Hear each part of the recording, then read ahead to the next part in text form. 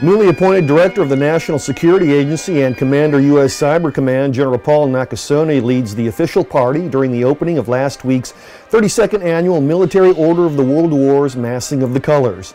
More than 40 color guards participated in Fort Meade's annual Memorial Day observance. Hello and welcome to Meade Week. I'm Brian Spann. Also this week, a lost World War II dog tag finds its way home. Volunteers needed for the red, white, and blue celebration, and Fort Meade is getting a Lyft. These stories and more, but first, as we watch scenes from Fort Meade's Memorial Day observance, it's a reminder that Memorial Day weekend is here and the traditional start of summer. And as they do every year at this time, the Installation Safety Office staged the annual Safety, Health, and Wellness Expo. More than 65 exhibits and vendors were on hand this year. The weather's getting warm, so with our stance, it's 101 critical days of summer safety. That's the start of it up until Labor Day weekend. Um, it's big because now people are actually going outside. So what our event basically composes of a lot of vendors from everybody. So you may just want to do household stuff. You got things in here with ladder safeties, with yards, with water safety, lawnmowers. You got recreational safety such as boating, skiing. Um, you got uh, industrial safety. You got the sports safety. You got folks dealing with everything from Zumba to working out, fitness trainers. Ferguson wanted to add a point of emphasis this year, saying that many people in the Fort Meade community are safe on the job, but maybe not as much at home. People see safety, they hear safety, they think of it as being an adversarial word. Safety is not adversarial. I like to see safety as being proactive as opposed to reactive. Because if you're safe, a lot of people are safe on their jobs, but not safe at home. So my thing is, you got to be safe year round and around the clock.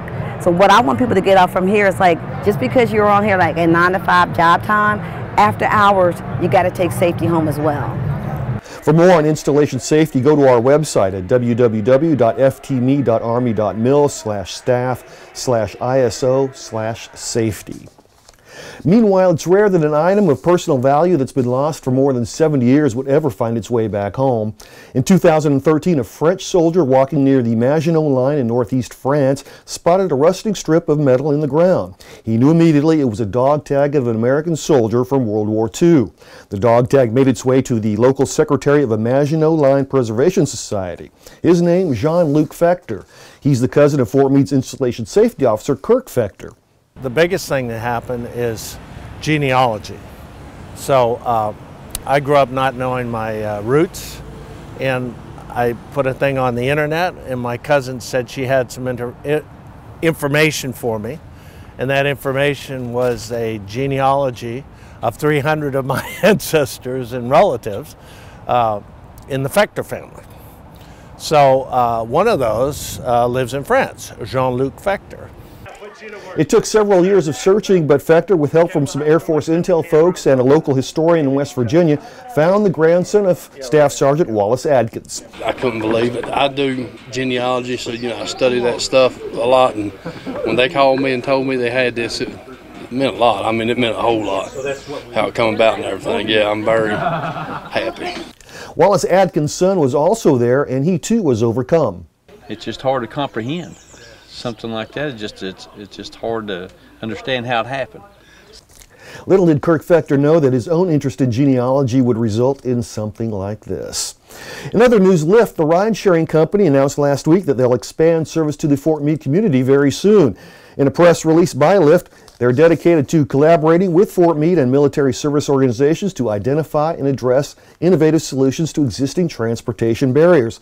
That from Mike Heslin, the Baltimore market manager for Lyft. Lyft is currently recruiting and training drivers who will be specifically certified to provide rides on Fort Meade. For more information on Lyft service to Fort Meade, go to blog.lyft.com.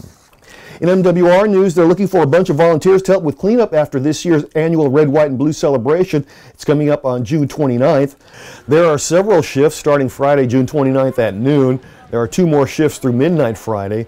Then on Saturday, more volunteers are needed for the final cleanup. And that's Meade Week for this week. I'm Brian Spann. We close with more from the Military Order of the World War's Massing of the Colors.